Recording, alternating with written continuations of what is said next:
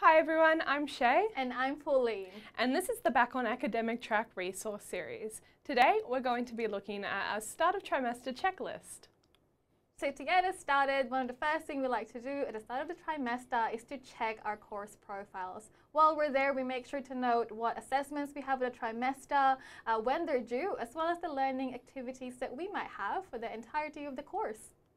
The second thing to keep in mind is to know your timetable. This is specific to you and the most accurate information can be found on your MyGriffith website. You can also, if it's easier for you, move this information into a planner. Speaking of planners, don't forget to plan for those assessments. While you're there, why not set alarm for your due dates, whether they be for your quizzes, for your reports, or even for your final exam. You can also set alarms for your drafts as well as revision to make sure that you're staying on track for the rest of your trimester. Lastly, know your census date. Generally, this is about four weeks from the commencement of a course, but again, the most specific and accurate information can be found on the MyGriffith side under your key dates.